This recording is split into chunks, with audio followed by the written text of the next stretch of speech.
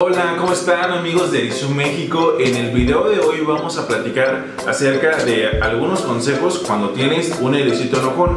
En este caso te tengo a dos ericitos en mis manos. En el lado izquierdo tenemos un ericito un poquito más sociable, en el lado derecho un ericito un poquito más enojón. Puedes notarlo por el aspecto o relación de sus púas. Sin embargo, en este video, si es tu caso, te voy a dar algunos consejos que te pueden ayudar para que sea mucho más fácil todo este proceso. ¿Te interesa? Acompáñame al siguiente tema.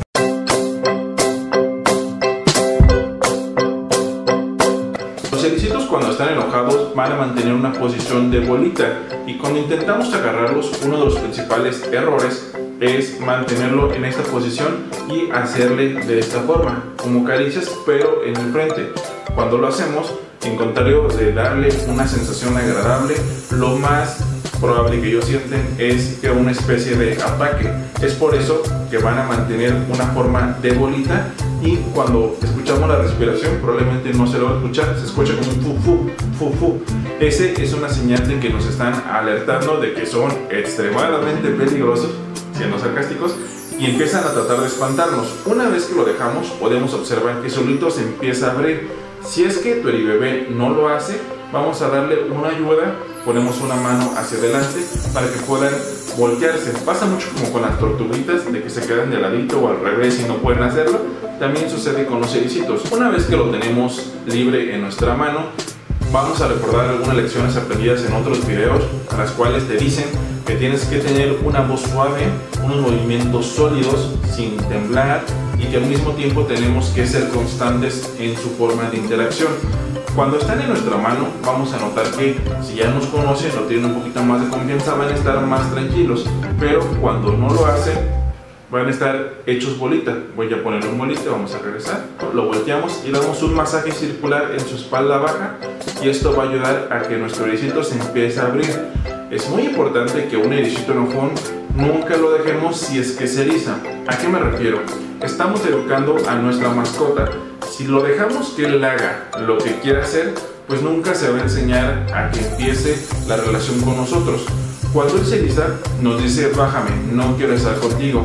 Por nuestra parte, nosotros tenemos que darle la seguridad de que realmente nada va a pasar. Y aunque él no quiere estar, va a estar con nosotros tampoco es que vamos a estar hostigando tres horas, simplemente los minutos que tenemos asignados para la sesión, vamos a compartir el tiempo con él. Esta es la mejor posición que yo le recomiendo, lo hemos platicado en otros videos, que es colocar una mano enfrente de la otra. A los ericitos enojones, de hecho a ningún ericito, pero menos a ellos, les gusta que los tengamos así, como que hostigados. Realmente es una posición que ni, ni la disfrutan ni ellos ni nosotros, porque van a pincharnos. Lo que te recomiendo es que si él no quiere mantenerse en la posición que vemos tan bonita en las redes sociales, no lo hagamos. Si se queda quietecito, lo más probable es que esté buscando una oportunidad para poder escapar. Yo te recomiendo que si lo que quieres es que sea un poco más dócil, le des la libertad de que se pueda mover correctamente en tus manos de forma libre y no lo tengas hostigado o en la posición. Es decir, si él quiere estar caminando y yo a fuerza lo quiero tener así, lo más seguro es que se lleve una mala impresión y esté un poquito de malas. Sin embargo, te recomiendo que siempre lo dejes libre y que pueda moverse de la forma que lo decida. Siempre y cuando tengamos la atención y no estemos ahí viendo la serie y que a la, a la hora de la hora se nos vaya a caer nuestro ericito. Hasta ahora hemos hablado del momento de compartir tiempo con un ericito enojón en nuestras manos, pero no todo es así. También podemos usar herramientas, juegos o actividades que pueden hacer que el ericito se vuelva mucho más sociable. Una de ellas es dejarlo libre por la casa. El ericito cuando empieza a explorar reconoce su entorno y se siente mucho más seguro porque ya sabe que hay allá afuera. Sin embargo, algunas precauciones que tenemos que tener es que cuando lo regresemos, cuidemos que sus patitas no tengan cabellos enredados, sobre todo cabellos de mujer o cabellos largos. Pasa mucho que los ericitos empiezan a estrangular sus patitas, los cabellos porque se atoran, se enredan y conforme pasan por un lado, pasan para el otro, se empiezan a apretar cada vez más y un cabello puede ser tan filoso que incluso puede amputar su patita y puede ser muy complicado quitársela. Así que si lo sacamos, lo que te pido es que siempre revisemos su patita antes de meterlo a su casita. Hablando de que está afuera, vamos a evitar también que coma comida que se nos pudo haber caído, una borona de un cheto, de un pan o cualquier cosita que pueda estar ahí tirada para evitar que se vayan a enfermar. Podemos dejarlo que ande por la casa sin hacer nada en específico, pero también podemos ponerle actividades. Recuerda que a los erigitos les gusta mucho usar los túneles. Puedes encontrar túneles en nuestra tienda en línea que son túneles de tela, que de hecho tienen una forma de T con varias entradas, pero también tenemos clientes que les han hecho unos laberintos espectaculares con tubos de PVC, al menos de unas 3 o 4 pulgadas. Estos laberintos les ayudan a despertar su creatividad e incluso lo hacen temáticos bueno, temáticos quizás no es la palabra, pero le colocan incentivos, les colocan un poco de atún, un poco de tenebros, se los colocan en ciertas partes para que el ericito pues empiece a hacer esa búsqueda y pueda ser mucho más divertido la interacción al mismo tiempo ellos se llevan un premio. Otra actividad puede ser la exploración guiada. Esta básicamente es llevarlo a un lugar que te gustaría que él conociera, probablemente tu jardín, un parque o cuando vayas de viaje lo saques dentro de la zona que te gustaría que él estuviera explorando.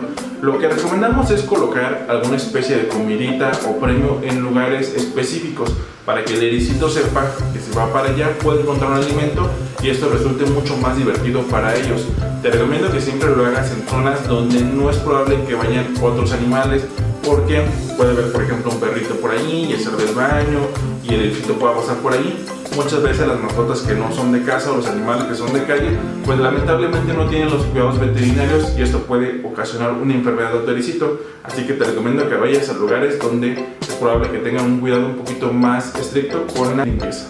Para finalizar te voy a dar algunos consejos que puedes aplicar cuando tu ericito es un poco enojón o poco sociable. Lo primero es que mantengas una rutina y vayas creciéndola de forma gradual. Probablemente al inicio soportes 3 minutos, 5 minutos estando con él, pero poco a poco va incrementando ese tiempo para que vaya siendo mucho más sencilla la interacción. Te recomiendo mucho que además de eso, te coloques dentro de su hábitat una prenda usada tuya. Puede ser una playera que uses por la noche y al día siguiente la coloques en su refugio. Adicional, yo te recomiendo que si tienes pensado tener al menos dos ejemplares o dos ericitos, hagas uno a la vez si te tocó un ericito que es un poquito más enojón, es menos probable que teniendo ya dos ericitos puedas enfocarte en brindarle los cuidados, la atención y además el tiempo para que pueda adaptarse correctamente a ti. Si bien recuerda que los ericitos cuando son pequeños pueden convivir con otros ejemplares sin problema, cuando son adultos solo las hembras pueden estar juntas dos machos se pueden pelear y un macho y una hembra, el macho puede estar todo el tiempo encima de la hembra y no sea lo mejor, ya que también va a ser un factor de estrés que puede afectar a tu ericito. Es muy probable que tu ericito se sienta abrumado cuando esté en contacto contigo las primeras veces. Respeta su espacio, pero empújalo poco a poco para que ese, esa barrera que el ericito pone al inicio se vaya moviendo cada vez más. Es muy normal que el ericito cuando esté enojado baje las púas que tiene en su frente tiene una especie de cortinilla que cubre sus ojos. Cuando está enojado, lo que puede hacer es que baja las púas y se empieza a aventar en el frente. Esto lo hace como una especie de rinoceronte para protegerse. Lo que yo te recomiendo es que con un dedo empieces a peinar la parte de las púas hacia atrás. Al inicio es probable que él no se relaje, pero que poco a poco ves cómo las baja. Poco a poco esos movimientos te den la señal de que nada va a pasar y al mismo tiempo dejes que te olfatee tu dedito y de esa forma pueda acostumbrarse a tu aroma. En muchas ocasiones lo que sugerimos es que dejemos que haga autoungimiento con nuestra mano. Recordarás que el autoungimiento es cuando chupa o muerde la zona que le gusta, que tiene un aroma que le despierta su interés y se unta sus púas en su espalda. El autoungimiento puede ayudar a que reconozca tu aroma y lo mantenga en su memoria. Recordemos que aún son teorías del autoungimiento, pero nos hemos dado cuenta que eso ayuda a que el ericito tenga un poquito más de confianza en sus dueños. Otro consejo que te puedo dar es que los ericitos tienden a ser mascotas de una sola persona. Normalmente cuando estás en una familia o en una casa hay varios habitantes dentro de ella. Lo que sucede con los ericitos es que tiende a ser más fiel a un dueño. Si la mascota es tuya, procura ser ese dueño para que tenga más contacto contigo, tenga una relación mucho más cercana pasa mucho que los ericitos terminan siendo más de los papás o de otras personas porque les dedican más tiempo. Recuerda que él va a premiar tu atención y va a recompensar las buenas cosas que tú hagas para cuidar de él. Ahora vamos con la sección de las preguntas. Las tenemos aquí previamente escritas y también un narrador nos va a ayudar a poderlas descifrar. Si tú tienes alguna duda, recuerda dejar en los comentarios en todas nuestras redes sociales. Y vamos con la pregunta número uno. ¿Cuánto tiempo viven los cericitos? Los cericitos viven entre 5 a 8 años. Es un promedio de vida, depende principalmente de los cuidados. Es muy importante que te esfuerces en darle una buena alimentación, ya que dentro de los cuidados es el factor clave para que tengan una gran calidad de vida. En una camada, ¿cuántos cericitos pueden salir? El promedio es de 3 cerecitos, sin embargo se ha registrado hasta 8 nacimientos por camada. Realmente las mamás son súper protectoras y te recomiendo que si tienes alguna mamá que tiene sus ericitos, no los toques, no la molestes y deja que ella haga todo el trabajo ya que pudiera verse estresada e incluso ella hacerles daño a sus pequeños. Así que vamos a dejarla tranquila y que ella haga su trabajo de mamá. ¿Los ericitos cuando nacen nacen pelones? Esa es otra pregunta, que si los ericitos nacen pelones y la respuesta es que sí. Cuando nacen, nacen sin púas. De hecho, están menos que un, dedo chiquito, están súper pequeños, parecen un pedacito de carne y tiene una especie de ámpula en su espalda. Esta ámpula se empieza a secar y poco a poco, al par de algunas horas, van brotando una especie de pelitos o de barba. Estos empiezan a oxidar y endurecer a lo largo de sus primeros días y así es como aparecen las púas de tal forma que la mamá no sufre al momento de tener a sus primeros bebés. Este video nos los habían pedido mucho, la verdad es que cada ericito es muy diferente, yo te puedo brindar algunos consejos que son de forma general, pero si te gustaría que hablemos un poco más específico de tu ericito, puedes mandarnos un WhatsApp, vas a encontrar el número en nuestra página en línea ericiomédico.com, algún video, la forma de que lo estés agarrando y la forma de que él reacciona y te podemos dar un consejo específico para que puedas aplicar dentro del cuidado de tu bebé.